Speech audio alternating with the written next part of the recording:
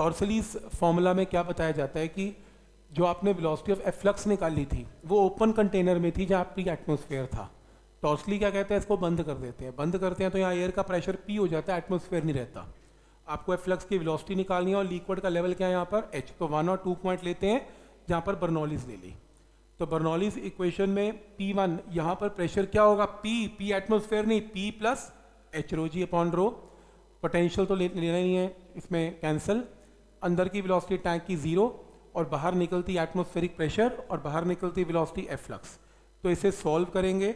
Solve करके जो भी एफ्लक्स की वेलोसिटी आएगी, ये आपकी टॉर्सलीस इक्वेशन मतलब टॉर्सली की हेल्प से ये वेलोसिटी ऑफ़ एफ्लक्स हमने कैलकुलेट किया। ठीक है यहाँ तक?